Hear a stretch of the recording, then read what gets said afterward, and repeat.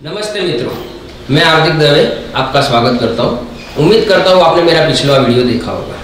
आज हम बात करेंगे श्री राम रेफ्रिजरेशन द्वारा बनाए गए ब्लॉक आइस प्लांट की और हमारे प्लांटों की क्या खासियत है, वो मैं आपको बताऊँगा। सबसे पहला आता है लैंड। हमारे प्लांट में अमोनिया से कम जगह चाहिए, यानी कम जगह पर ये प्लांट रख देता है। दूसरा पॉइंट आता है गैस क्वांटिटी सबसे बड़ा पॉइंट यही है, गैस क्वांटिटी क्योंकि हमारे प्लांट में per KG only for four kilo, चार किलो गैस यूज़ होता है। पर टन के अंदर तीसरा पॉइंट आता है मेंटेनेंस अब बात करते हैं मेंटेनेंस मेंटेनेंस हमारे प्लांट में बिल्कुल नहीं है। इसका कारण है टोटली प्लांट में मशीनरी के अंदर कॉपर यूज़ किया जाता है। इस कारण से ना कभी उसको जंग लगता है, ना कभी गोर्जन होता है, ना कभी वो सड़ता है गलता है। इस कारण से कोई मेंटेनेंस हमारे प्लांट में नहीं है। चौथा पॉइंट आता है पावर की।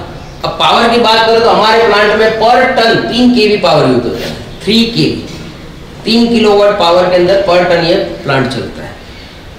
चौ पांचवा पॉइंट आता है प्रोडक्शन अब प्रोडक्शन की बात करते हैं। बहुत बड़ा पॉइंट है प्रोडक्शन प्रोडक्शन का मतलब ये है कि हम अगर आपको सौ कैन की टैंक देंगे, चाहे पचास किलो का हो, सौ किलो का है, या डेढ़ सौ किलो का तीनों तीन फॉर्मेट में सौ कैन की टैंक होगी तो चौबीस घंटे के अंदर आपको पूरा प्रोडक्शन मिलेगा।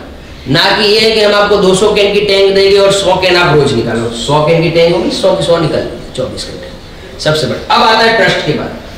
ट्रस्ट की बात ये आती है कि आप अगर हमारे चैनल को अगर सब्सक्राइब करोगे तो आपको उसके अंदर हमारे प्लांट की 15 से 20 वीडियो देखने भी मिलेगी।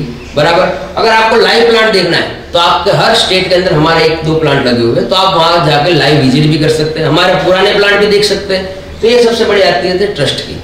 अगर आपको मेरा ये वीडियो पसंद आया और आगे मैं आपके साथ जुड़ा रहा हूँ तो प्लीज़ चैनल को सब्सक्राइब कीजिए और लाइक कीजिए।